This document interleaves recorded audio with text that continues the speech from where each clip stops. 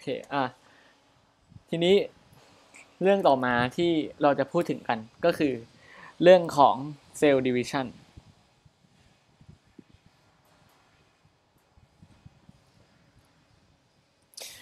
ก็คือ cell division เนี่ยมันก็จะมีทั้งหมด 2 ประเภทใหญ่ ๆ ที่ก็คือแบบไมโตซิสแล้วก็ไมโอซิส ไมโตซิสก็คือเป็นการแบ่งเซลล์ที่ได้จำนวนชุดโครโมโซมเนี่ยเท่าเดิม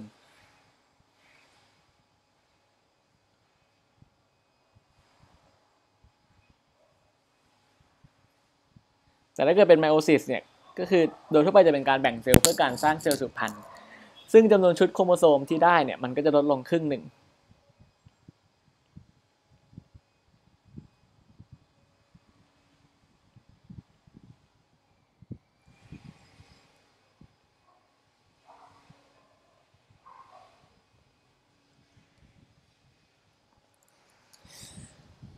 สำหรับไมโอซิสเนี่ยยิ่งสำหรับการ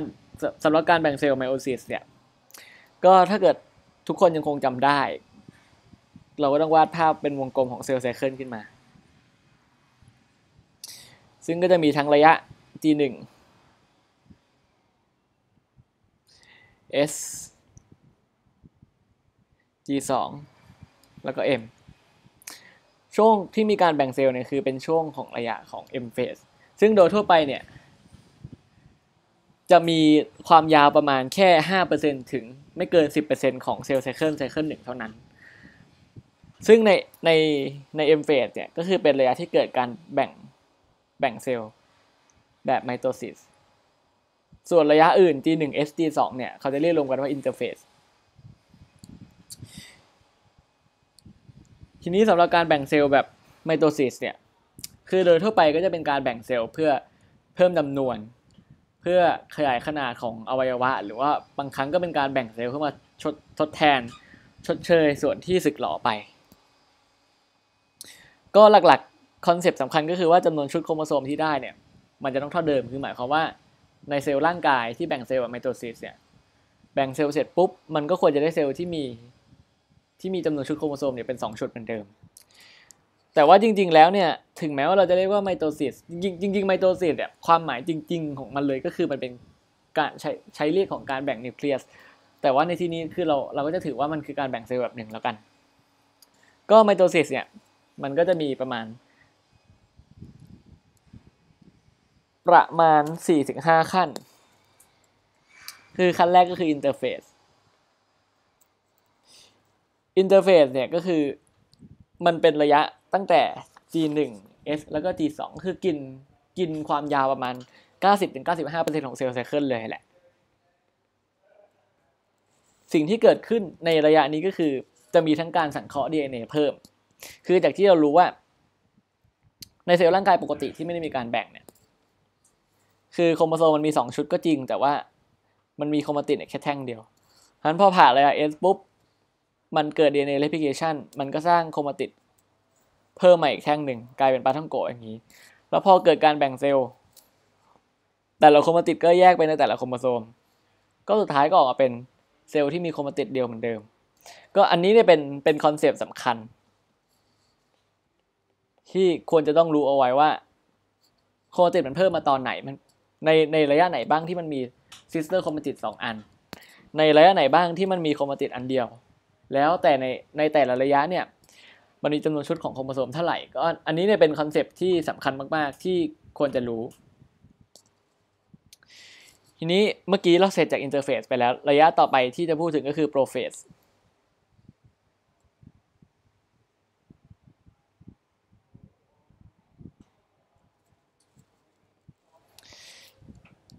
ยิงถ้าเพื่อนๆ อยากจะเห็นภาพที่มันที่มันสวยกว่ากว่าที่เราจะวาดได้ก็คือ ก็ให้ดูใน ดูในสไลด์ของอาจารย์ได้ หรือว่าเปิดภาพตาม textbook ก็แนะนำแคมเบลหรือว่า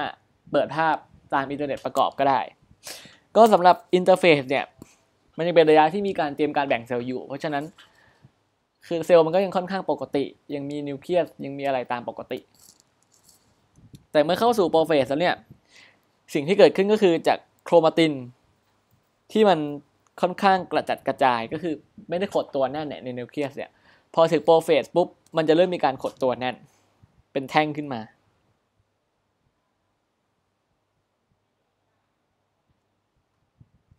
chromatin เนี่ยมีการขดขดตัวแน่นก็คือเป็นโครโมโซม คือจริงๆ ในในระยะที่ขดตัวยังไม่แน่นส่วนมากเขาก็เรียกว่าโครโมโซมกันแหละ จริงๆ มันก็เรียกได้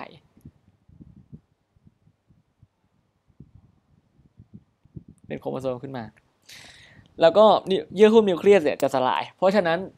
ถ้าเทียบกับภาพที่เราเห็นจากห้องปฏิบัติการเนี่ย ถ้าเป็นเซลล์ที่อยู่ในระยะ interphase จากที่เราบอกไปแล้วว่านิวเคลียสเนี่ยมันจะกลม เป็นจุดกลม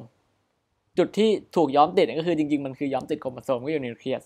แต่ถ้าเกิดเป็นเป็น prophase เมื่อไหร่เนี่ย มันจะย้อมติดเป็น DNA เนี่ยกระจายกระจายไปทั่วเซลล์ ก็คือเพราะว่าเยื่อหุ้มนิวเคลียสเนี่ยมันสลายไป แต่จริงๆ แล้วโครโมโซมในระยะ prophase เนี่ยคือมันมีการขดแน่น เป็นแท่งขึ้นมาไม่ไม่เหมือน คือยังขดแน่นไม่สุด แต่ว่าก็เริ่มมีการขดแน่นเป็นแท่ง ไม่เหมือนกับในระยะ interphase ซึ่งยังไม่ได้มีการขดแน่น แล้วก็อีกสิ่งหนึ่งที่เกิดขึ้นก็คือ ตัวของ cen- centriole เนี่ยมันก็จะแยกออกไปอยู่ที่สองฝั่งของเซลล์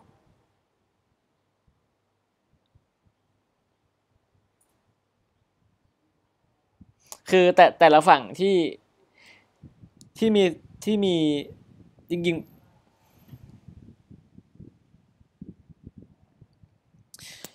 จริง ๆ เขาก็เรียกว่าเรียกว่า centrosome คือ centriole centriole แยกออกแต่ละฝั่งคือเป็น centrosome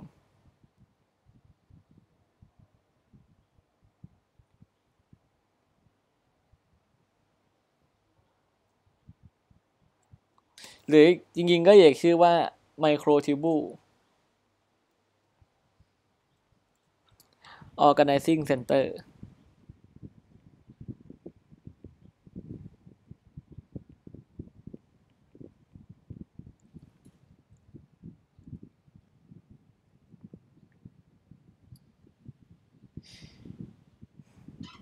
นี่เดี๋ยวเดี๋ยวเดี๋ยวขอขอแก้เมื่อกี้นิดนึงว่า เออแต่ละฝั่งคือเรียกว่าเซนติโอถูกแล้ว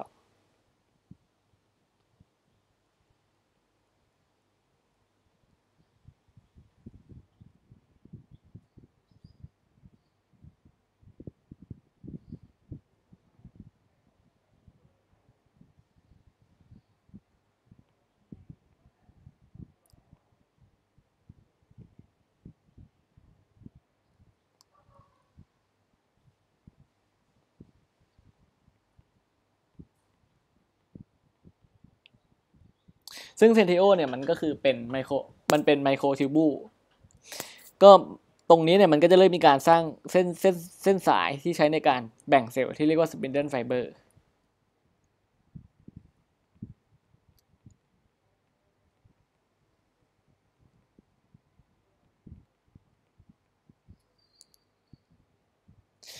ทีนี้แต่ละฝั่งที่ที่ centrosome เนี่ยมันแยกออกกลายเป็น centriole สองอันเนี่ย แต่ละฝั่งที่มันไปอยู่เนี่ย เราจะเรียกว่าขั้วเซลล์ก็คือ เรียกว่า polar แหละคือหมายความว่าพอในระยะ prophase การที่ centriole คือคือการที่คือในในเซลล์สัตว์ปกติเนี่ย ในสภาวะปกติเนี่ย centriole สองอันมันจะซ้อนกัน เรียกว่า centrosome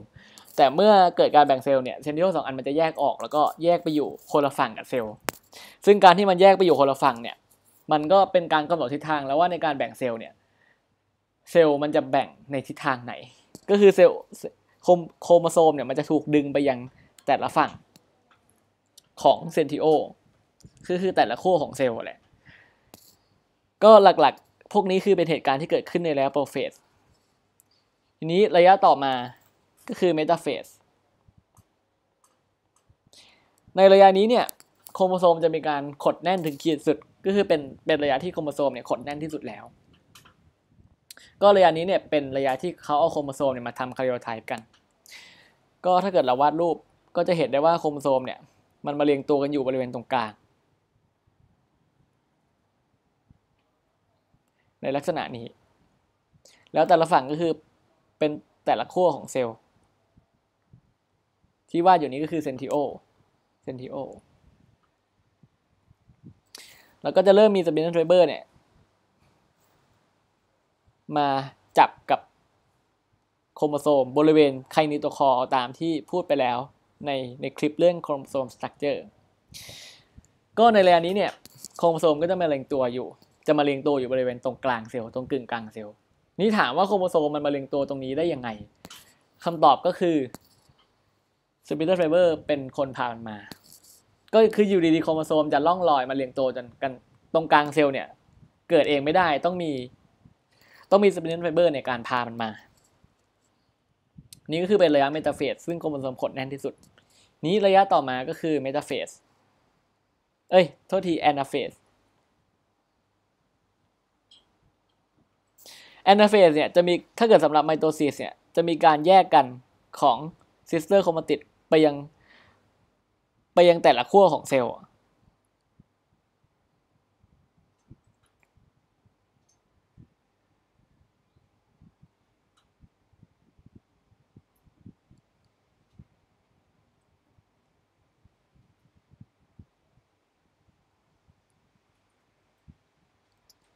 ซึ่งถามว่ามันแยกกันได้ไง ก็ตามเดิมก็คืออาศัยการทำงานของ spindle fiber นี่สำหรับกลไกโดยคร่าวๆก็คือว่า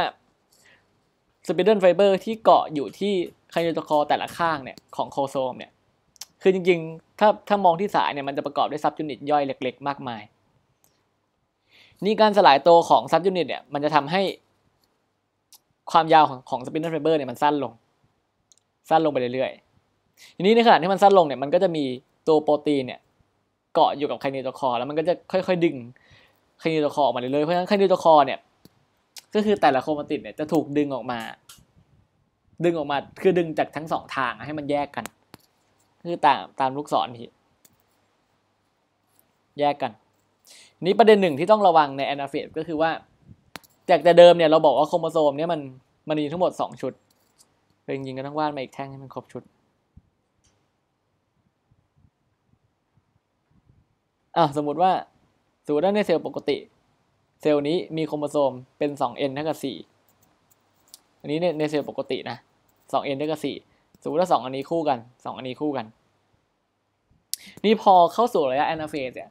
เราจะเห็นได้ว่าโครโมโซมจากแต่เดิมที่2 sister chromatid มันเชื่อมต่อกัน มันไม่ได้ต่ออีกต่อไปแล้ว ฉะนั้นถ้าเกิดเราดูในเซลล์ตอนนี้เนี่ยเราจะเห็นได้ว่าโครโมโซมมันจากสี่แท่งมันกลายเป็นว่ามันมี 8 แท่ง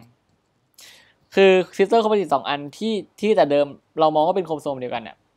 พอเข้าสู่ anaphase คือมันไม่ใช่โครโมโซมแท่งเดียวกันอีกต่อไปแล้ว มันกลายเป็นว่ามันเพิ่มมาอีกชุดหนึ่ง เพราะฉะนั้นในระยะ anaphase เนี่ยสำหรับเซลล์นี้ จะมีโครโมโซมเป็น 4n เท่ากับ 8 นี่คือเป็นเป็นข้อควรระวังของระยะ anaphase ทีนี้ระยะต่อมาคือระยะ telophase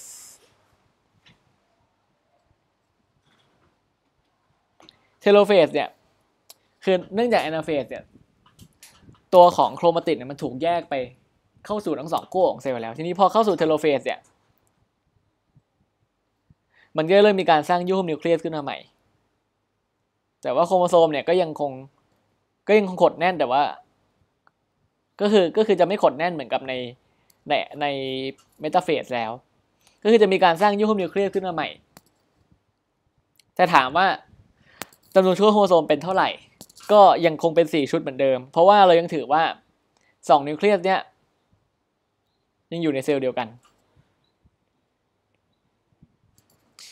ก็หลักๆที่เกิดในใน telophase ก็คือเป็นการ regenerate เยื่อหุ้มนิวเคลียสขึ้นมาใหม่ ทีนี้ระยะต่อไปก็คือ เสร็จสิ้นจาก telophase เนี่ยก็เราก็ถือได้ว่านิวเคลียสแบ่งเสร็จแล้ว ฉะนั้นต่อจากนั้นก็คือจะเป็นการแบ่งไซโตพลาซึมหรือว่า cytokinesis นี้ cytokinesis เนี่ยสำหรับยูคาริโอตเนี่ยมันก็จะแบ่งเป็น 2 กลุ่มใหญ่ๆ คือกลุ่มของ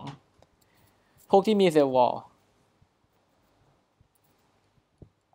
กับพวกที่ไม่มี cell wall ถ้าเป็นพวกที่มี cell wall เนี่ย cytokinesis จะเกิดได้โดยการสร้าง cell plate จากภายใน แต่ถ้าเกิดเป็นพวกที่มันไม่มี cell wall อย่างเช่น animal cell เนี่ย การแบ่งไซโตพลาซึมจะเกิดได้จากการสร้างโครงสร้างที่เรียกว่า contractile ring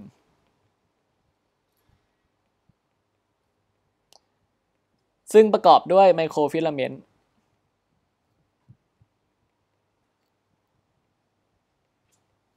มาพันรอบเซลล์ แล้วก็ทำทำให้เกิดรอยคอร์ดแล้วก็แบ่งออกจากกัน แต่ว่า กลไกเนี่ยมันใช้กับเซลล์ที่มี cell wall ไม่ได้เพราะว่า cell wall มันแข็ง เพราะนั้นก็เลยต้องอาศัยการสร้าง cell plate จากภายในเซลล์เพื่อแบ่งไซโทพลาซึมออกเป็น 2 ส่วน นี้พอไซโทพลาซึมถูกแบ่งเป็น 2 ส่วนปุ๊บจาก cytokinesis เนี่ยจากจำนวนชุดโครโมโซม 4 ชุด ในระยะ telophase ก็จะกลายเป็น 2 ชุดทันที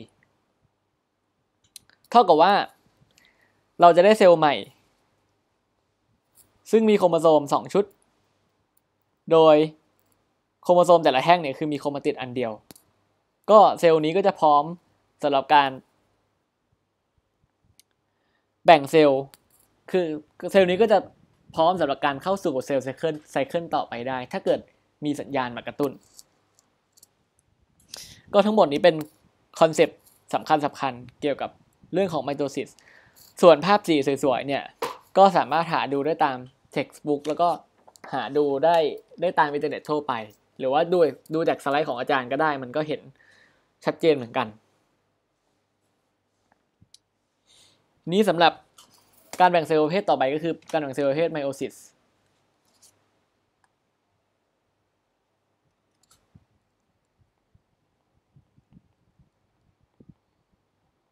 อ๋อใช่เมื่อกี้เราลืมพูดไปว่า เมื่อกี้เราบอกว่าการแบ่งการแบ่งไซโทพลาซึมเนี่ยเราเรียกว่า cytokinesis การแบ่งนิวเคลียสก็มีชื่อของมันเหมือนกันเรียกว่า karyokinesis ซึ่งพวก prophase metaphase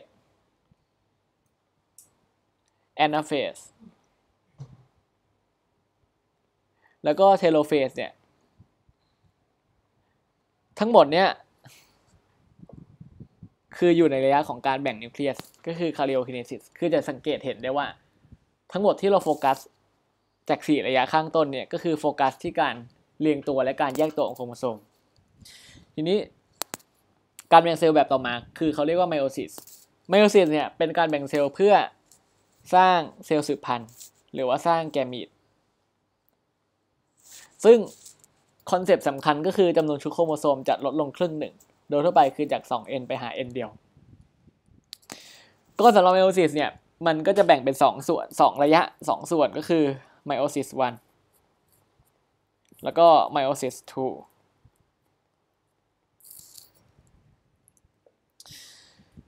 คือระยะที่จะมีการลดจำนวน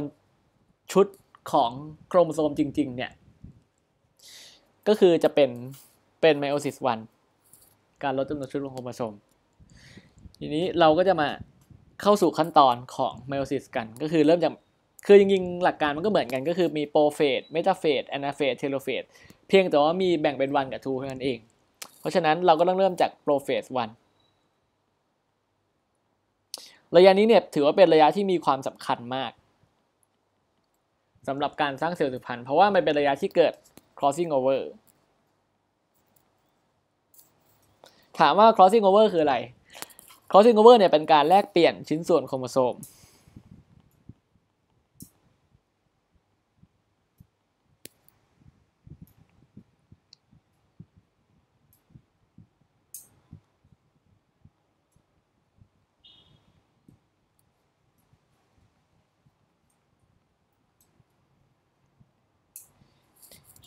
ที่อยู่ ที่โลคัสเดียวกัน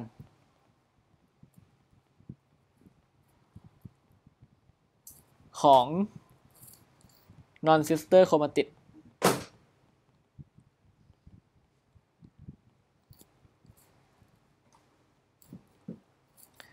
ของโฮโมโลกัสโครโมโซม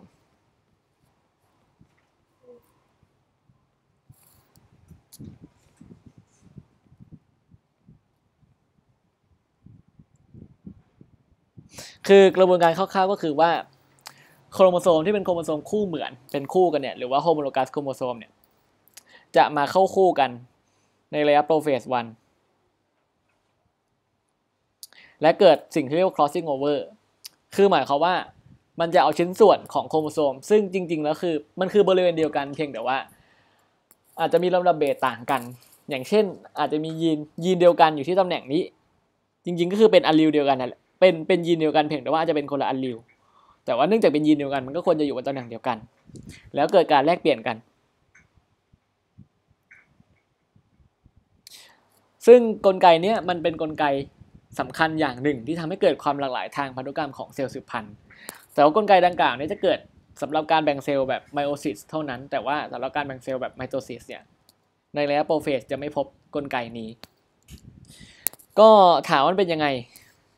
คืออย่างเช่นสมมติว่าเราวาดเราวาดโครมาติดเป็นแท่ง นี่คือมีโครโมโซมสองแท่ง เพื่อให้เห็นภาพชัด เราจะเป็นแท่งหนากับกับแท่งแท่งไม่หนาสองแท่งมีสี่โครมาติดก็คือแต่ละแท่งนี่มีสอง sister chromatidสมมุติว่าเกิด crossing over ที่ตำแหน่ง x ก็คือแท่งนี้กับแท่งนี้เนี่ย มันเป็น non sister chromatid กัน เพราะว่า คือเพราะว่าแท่งแท่งบนเนี่ยมันมันมันมันไม่ใช่ผลผลิตที่เกิดจาก replication ของแท่นล่าง ถามว่าแท่นแท่งไหนที่เป็น sister chromatid กันก็คือสองแท่งนี้ แล้วก็สองแท่งนี้ที่เป็น sister chromatid กัน แต่ว่าสองแท่งที่จะเกิด crossing over กันเนี่ยจะต้องเกิดระหว่างสองแท่งที่มันไม่ใช่ sister chromatid กัน เพราะว่าอยากจะให้ลองคิดว่า ถ้ามันเกิดระหว่างสองแท่งที่เป็น sister chromatid กัน แล้วมันจะคอสไปทำไม ในเมื่อ ก็ได้โครโมโซมใหม่ที่มีลอนดับเบสเหมือนเดิมเอาสมมติว่าให้เกิด crossing over ที่ตำแหน่ง x เนี่ย ผลลัพธ์ที่ได้คือมันจะเป็นดังนี้ว่า มันก็จะกลายเป็นว่า อะแท่งบนไม่เกิด crossing over เหมือนเดิม แท่งนี้ก็รับเอาส่วนหนาบริเวณตรงนี้มา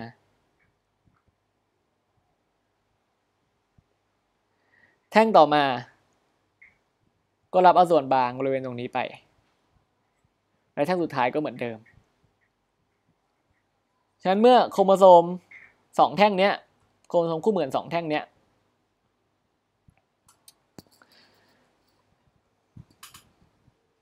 สี่โครโมติดสองโครโมโซมนะ เมื่อตรงนี้เนี่ยเข้าสู่การแบ่งเซลล์ในระยะต่อๆไปเนี่ย มันแต่ละแท่ง แต่ละโครโมติดก็จะถูกแยกไปในแกมีดแต่ละชนิดทำให้เราจะเห็นได้ว่าแกมีดแต่ละชนิดเนี่ยสำหรับโครโมโซมแท่งนี้เนี่ยมันก็จะมีความหลากหลายแล้วจากการ crossing over ก็นี้เป็นนกลไกสำคัญกลไกหนึ่งในการเพิ่มความหลากหลายทางพันธุกรรมอ่าทีนี้สำหรับ crossing over เนี่ยมันก็concept มันก็จะเป็นคร่าวๆเท่านี้ แต่ทีนี้เนี่ยมันก็จะมีการแบ่งระยะ prophase one เป็น 5 ขั้นตอน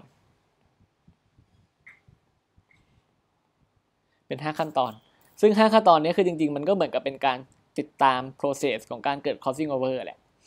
ระยะแรกก็คือระยะที่เรียกว่า leptotene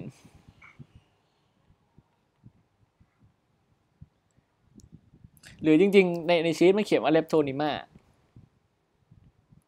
แต่จริงๆก็คืออันเดียวกันนั่นแหละ leptotene เนี่ยคือระยะนี้ก็ไม่มีอะไรก็คือมันก็มีอารมณ์อารมณ์คล้ายๆโปรเฟสธรรมดา คือมีการสลายเยื่อหุ้มนิวเคลียส มีการไปอยู่คนละขั้วเซลล์ของเซนทริโอลเนี่ยคือมันก็จะประมาณนี้คือไม่มีอะไรพิเศษ แต่ระยะที่เริ่มมีความพิเศษก็คือระยะที่เรียกว่า zygotene zygotene เนี่ยจะเกิดโครงสร้างเรียกว่าsynaptonemal complex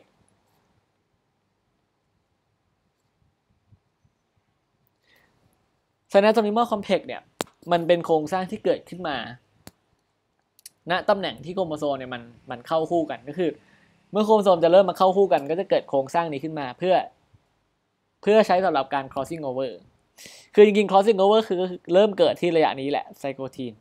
แต่ crossing over จะไปเสร็จที่ระยะต่อไปที่เรียกว่าพาไคทีน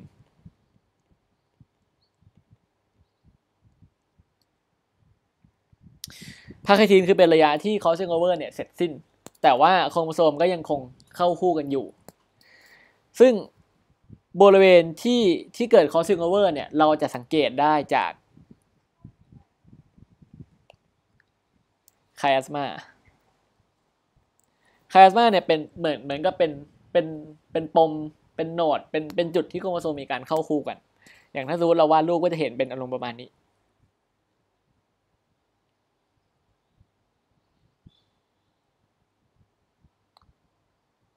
เนี่ย แต่ละตำแหน่งตรงเนี้ยที่มีที่มันแสดงร่องรอยการเข้าคู่เนี่ยเราเรียกว่าไคอัสมาคือคาสมาเนี่ยเป็นเป็นร่องรอยที่แสดงการเกิด crossing over ได้อย่างดี ซึ่งคาสมาเนี่ยจะเห็นได้ชัดเจนมากในระยะดิโปรตีนคือจริงๆแล้วคาสมามันก็เกิดมาตั้งแต่จุดที่จะเริ่มเกิด crossing over แล้วแหละเพียงแต่ว่ามันมาเห็นชัด ในระยะดิโปรตีนเท่านั้นเอง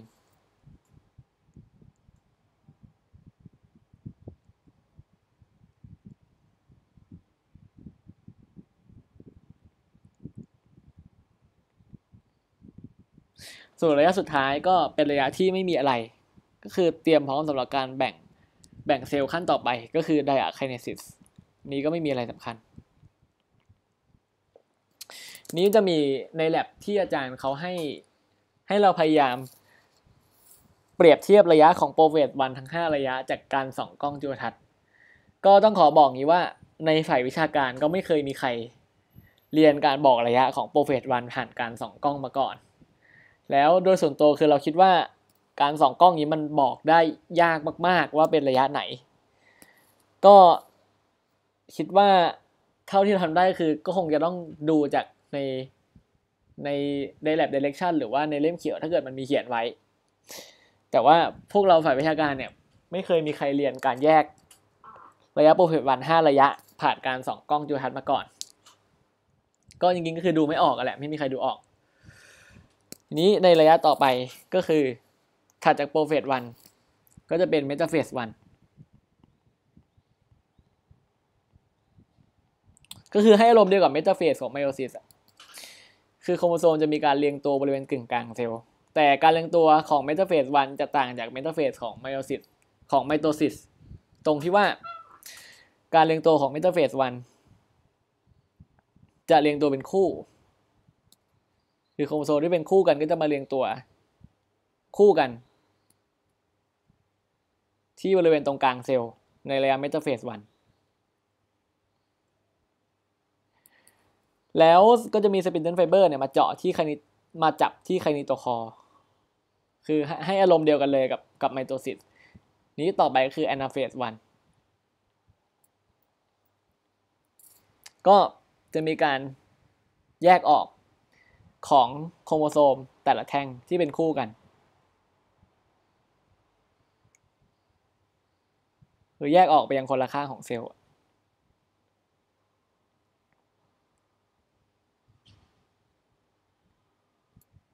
แยกออกไปคนละข้าง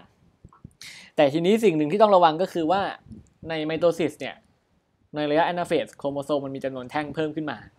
เพราะฉะนั้นการเขียนแสดงจำนวนชุดเนี่ย มันก็กลายเป็น 4n แต่ว่าให้สังเกตภาพนี้ในเมตาเฟสมันยังคงเป็น 2n เท่ากับ 4 และเมื่อเข้าสู่แอนาเฟส1ก็ยังคงเป็น 2n เท่ากับ 4 เพราะว่าโครโมโซมมันคือคือคือในแท่งอะโครมาติดในแท่งมันยังไม่ถูกแยกออกอะแค่แค่แท่งที่เป็นคู่กันมันโดนแยกกันเท่านั้นเอง นี้ต่อไปก็คือ ระยะเทโลเฟสวันก็จะให้อารมณ์เดียวกันกับ ทโลเฟสของไมโตซิสก็คือว่า มันก็เริ่มมีการสร้างยุโฮมนิวเคลียสขึ้นมา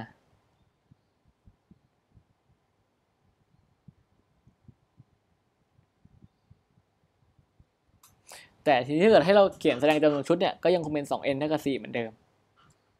แล้วก็จะเข้าสู่ meiosis 2 ต่อไป อ๋อแต่ก่อนจะเข้าสู่ meiosis 2เนี่ย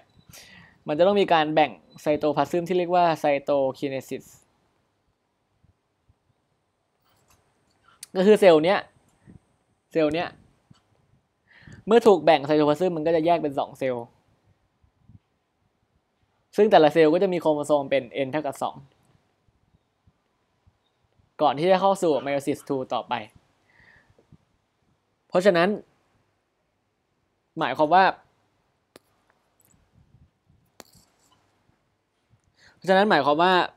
การแบ่งเซลล์ในระยะที่มันจะลดจำนวนชุดโครโมโซมลงไปครึ่งหนึ่งจริงก็คือในระยะของไมโอซิส1โอเคทีนี้เข้าสู่ไมโอซิส2ทีนี้บางครั้งเนี่ยมันจะมีช่วง gap ระหว่างไมโอซิส1กับไมโอซิส2เราเรียกช่วงนี้ว่า interkinesis นี้เนี่ยคือ gap ระหว่าง meiosis 1 กับ 2 นี่คือเราจะเรียกว่า interkinesis แล้วทีนี้ก็จะเข้าสู่ meiosis 2 ก็จะเริ่มเหมือนเดิมก็คือว่าในช่วง interkinesis เนี่ยเซลล์มันก็จะมีการแยกเป็น 2 เซลล์แล้ว แล้วแต่ละเซลล์ก็จะมีโครโมโซมอยู่ในนิวเคลียสก็คือมีเยื่อหุ้มนิวเคลียสกลับมาจากเทโลเฟส1นี่คือเข้าสู่โปรเฟส2 ครั้งนี้เนี่ยเยื่อหุ้มนิวเคลียสก็จะสลายไปเหมือนเดิมcentriole ก็จะแยกตัวไปยังแต่ละคู่ของเซลล์เหมือนเดิม คือหลังจากนี้เนี่ยกลไกทุกอย่างมันก็จะเหมือนกับไมโตซิสหมดแล้วทุกอย่างเลย prophase 2 ต่อไปก็เป็น metaphase 2 ก็จะมีการเรียงตัวของโครโมโซมที่บริเวณกึ่งกลางเซลล์เหมือนเดิม แต่ว่าสำหรับเซลล์เมื่อกี้ในครั้งนี้ที่มันถูกแบ่งเป็น n เท่ากับ2แล้วมันก็เรียงตัวอย่างนี้ แต่ให้สังเกตว่าโครโมโซมยังคงมี2 sister chromatid อยู่ เรียงตัวอย่างนี้คือเรียงตัวเหมือนกับเมตาเฟสของไมโอซิสแล้ว แล้วต่อไปก็จะเป็นแอนาเฟส2คือจะสังเกตเห็นได้ว่าในแอนาเฟส2เนี่ยโครโมโซมก็ตามเคยก็คือแยกออก เพราะฉะนั้นระยะนี้จาก n เท่ากับ2ก็จะกลายเป็น 2n เท่ากับ4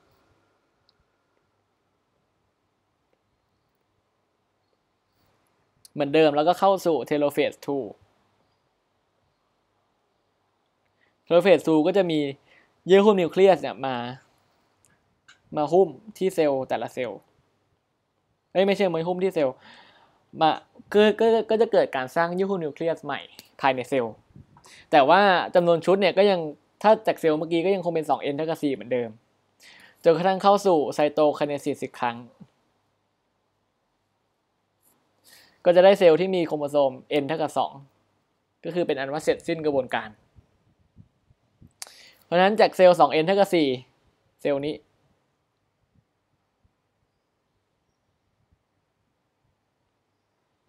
พอแบ่ง meiosis จนเสร็จ ก็จะได้เซลล์4เซลล์ซึ่งมีโครโมโซม n เท่ากับ2ตามนี้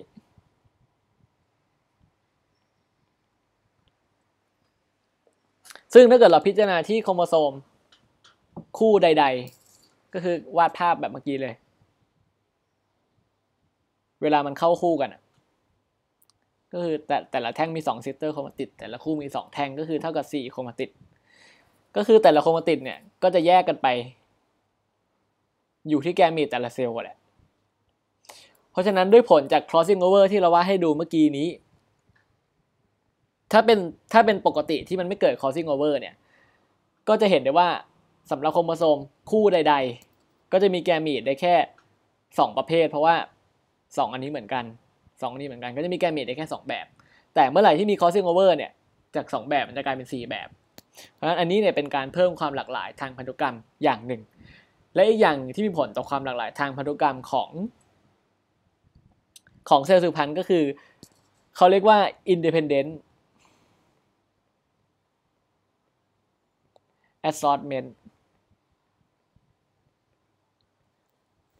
ของการสร้างเซลล์สืบพันธุ์ ซึ่งอันนี้เนี่ยมันก็คือเป็นกฎของเมนเดลข้อ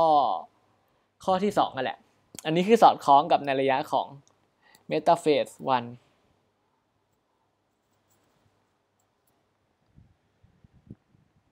ก็หลักการของมันก็คือว่า เวลาที่โครโมโซมมาเรียงตัวกันในระยะ metaphase 1เนี่ย คือเอาอย่างเช่นกลับมาดูที่ภาพนี้นะ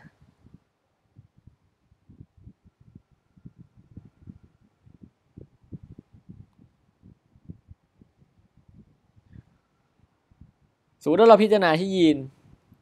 A B C ที่อยู่ที่โครโมโซมแต่ละแท่ง สมมติว่าสิ่งมีชีวิตเซลล์นี้มีจีโนไทป์เป็น A ใหญ่ A เล็ก B ใหญ่ B เล็ก C ใหญ่ C เล็ก อะ A ใหญ่ A เล็ก เราอาจจะเขียนให้แท่งนี้เป็น A A ใหญ่ก็ได้ A เล็ก B ใหญ่ B เล็ก C ใหญ่ C เล็ก แล้วพอมีการแบ่งปุ๊บ ฝั่งนี้ก็ได้ A ใหญ่ B ใหญ่ C ใหญ่ ฝั่งนี้ก็จะได้ A เล็ก B เล็ก C เล็ก แต่ถ้าเกิดสมมติว่า เราให้ B ใหญ่กับ B เล็กสลับกันล่ะ มันก็สลับกันได้นั้นอันนี้ก็จะกลายเป็น A ใหญ่ B เล็ก C ใหญ่ A เล็ก B ใหญ่ C เล็ก คือสังเกตได้ว่าสำหรับโครโมโซมเนี่ย คือในในการจัดเรียงโครโมโซมเนี่ย มันก็ทำให้มี pattern จำนวนวิธีในการแบ่งเนี่ย แตกต่างกันเองเช่นเคสของ ABC ที่เรายกตัวอย่างให้ดูแล้ว คือจำนวนรูปแบบที่เป็นไปได้ก็คือ 2 ยกกำลัง n เมื่อ n คือจำนวนแท่งของ จำนวนชุดของจำนวนแท่งของโครโมโซมที่มาเข้าคู่กันจำนวนคู่เหลือเออจำนวนคู่เพราะฉะนั้นอย่างใน autosome ของเราเนี่ยมีทั้งหมด 22 คู่ ยิงก็คือ 23 เพราะว่า เพราะเวลามีการแบ่งเซลล์เนี่ย x กับ y ก็จะไปคนละฝั่ง เพราะนั้นด้วยผลของ independent assortment เนี่ยก็จะมีการจัดเรียงทั้งหมด 2กำลัง 23 แบบ ซึ่งมีผลอย่างมากต่อความหลากหลายทางพันธุกรรมของแกมีด ก็ทั้งหมดนี้ก็จะเป็นคอนเซปต์สำคัญสำคัญเกี่ยวกับเรื่องของการแบ่งเซลล์ ก็สำหรับประเด็นปีกย่อยอื่น ๆ ก็คิดว่า ไม่น่าจะมีประเด็นสำคัญที่ที่ที่เราพลาดไปแล้ว ก็สำหรับใครที่มีข้อสงสัยอะไรก็สามารถถามได้ในในหลายวิชาการอ๋อ จะมีอีกประเด็นหนึ่งที่ที่มีในสไลด์อาจารย์ ก็คือเรื่องของ sexual life cycle คืออันนี้เนี่ยอาศัยการแบ่งเซลล์ไมโอซิสแหละ เพราะว่ามีการสืบพันธุ์แบบอาศัยเพศ เวลาสร้างแกมีดก็ต้องมีการแบ่งเซลล์ meiosis ถ้าเกิดเรามองการแบ่งเซลล์ meiosis เมื่อเทียบกับระยะต่างๆในคนเนี่ย เอออย่างเช่นเราเราคนตัวเต็มวัย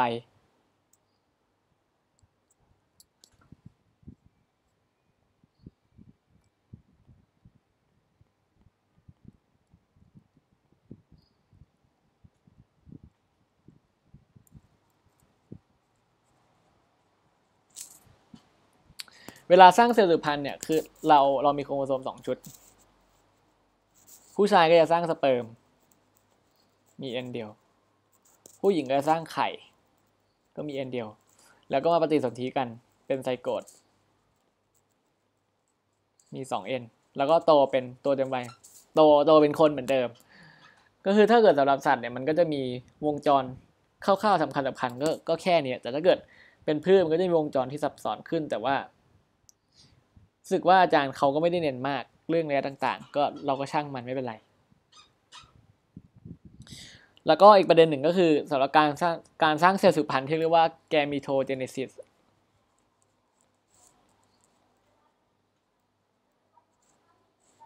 นี่คือการสร้างเซลล์สืบพันธุ์ ถ้าเป็นในเพศชาย คือหนึ่งเซลล์ต้นกำเนิดเนี่ย ได้ทั้งหมดสี่สเปิร์ม แต่ถ้าเกิดเป็นเพศหญิงเนี่ยหนึ่งเซลล์ต้นกำเนิด ได้แค่เซลล์ไข่เซลล์เดียว คือถามว่าเหตุผลเป็นเป็นเพราะอะไรก็ ถ้าเกิดเรายังคงจำได้ตั้งแต่ตอนที่เราเรียนมปลายว่าจะมีอีกเวลาเวลาเซลล์ไข่แบ่งเซลล์อะสมมติเริ่มจากโอโอโกเนียม ต่อไปคือเป็น primary oocyte เวลา primary oocyte แบ่งตัว มันจะได้ secondary oocyte กับ first polar body แล้ว secondary oocyte เวลาแบ่งตัวมันก็ได้ egg กับ second polar body